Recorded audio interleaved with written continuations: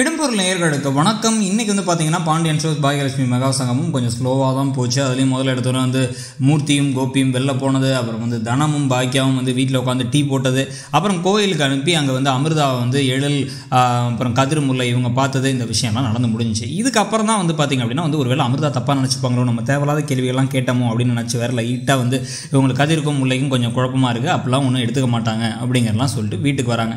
வீட்டுக்கு வந்து எல்லோரும் ஒன்றா உட்காந்து சாப்பிட்லாம் அப்படின்னு போது போதே வந்து பார்த்தீங்கன்னா கரெக்டாக கோபி எஸ்கேப் ஆக பார்க்குறாரு அவரை உட்கார வச்சு அவர் ஒரே ஒரு இட்லி சாப்பிட்றாரு. இன்னும் அநியாயமாக இருக்குது? காஃபி நிறைய குடிக்கிறேன்ல அதனாலங்கிறாரு. நானே காஃபி நிறைய தான் குடிக்கிறேன் நான் அப்படிலாம் ஒன்றும் இல்லை. ஸோ உட்கார வச்சு அவர் என்ன பண்ணுறாங்க அப்படின்னா வந்து இன்னும் ஒரு இட்லி சாப்பிடுங்க அப்படி இப்படிங்கிறாங்க. உரிச்ச கோலின் கிண்டல் பண்ணுறாங்க நாங்கள் ரெண்டு கிலோ மட்டன் வாங்கி எல்லாரும் அவ்வளோ சாப்பிடுவோம். நீங்கள் என்ன சாப்பிடவே மாட்டீங்களா? அப்படின்னு கிண்டல் பண்ணிகிட்டு இருக்காங்க. உனக்கு தங்கச்சிங்க இருந்தால் நல்லா இருந்திருக்கும்டா அப்படின்னு இப்போ ஈஸ்வரி யோசிச்சுட்டு இருக்காங்க. வேணாம் கோ அண்ணனை என் கூட வீட்டுக்கு அனுப்பிவிட்டுருங்க அப்படிங்கிறாங்க. ஏமா வேணாமா அவர் வச்சுக்கிறது ரொம்ப கஷ்டமான காரியம். ஸோ இப்போ எல்லாரும் உட்காந்து திருப்பி எல்லாரும் பேசிகிட்டு இருக்கும்பொழுது வந்து வயசு என்ன கண்ணனுக்கும் ஐஸ்வர்யாவுக்கும் கேட்கும்போது ஐஸ்வர்யாவுக்கு பத்தொம்பது வயசு தானாமா உடனே பத்தொம்போதா இப்போ தானே பர்த்டே வந்துச்சு இருபதுன்னு மீனா சொல்ல உடனே நீ தான் வந்து அவளுக்கு அக்கா மாதிரி இருக்க அப்படின்னு ஐஸ்வர்யாவை பார்த்து வந்து மீனாவோட நீங்கள் பெரிய பெரிய பொண்ணா தெரியலன்னு கிண்டல் வேற பண்ணிடுறாங்க.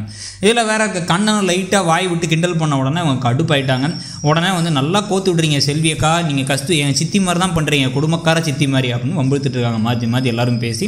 ஸோ இவங்களாம் ஒரு ஃபன் டியோ ஃபன் குரூப் யார் யார் அப்படின்னு பார்த்தீங்கன்னா வந்து மீனா ஐஸ்வர்யா அப்புறம் செல்வி இவங்க எல்லாரும். எப்போல்லாம் தனம் பாய்க்கியா முல்லை இவங்கெல்லாம் வராங்களோ அப்போல்லாம் கொஞ்சம் நொய்கிட்ட போர் அடிக்கிற மாதிரி ஆகிடும் ஸோ இதுக்கப்புறம் தான் வந்து கிளம்பி தனம் அண்ட் பாக்கியா அவங்க ரெண்டு பேரும் ராதிகாவோட புது வீட்டுக்கு போயிடுறாங்க.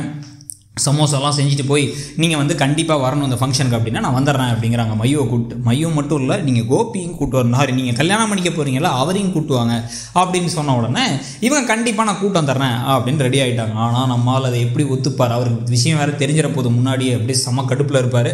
ஸோ நீங்கள் இந்த போர்ஷனை பற்றி என்ன நினைக்கிறீங்கிறத கமெண்ட் செக்ஷனில் சொல்லுங்கள் தேங்க்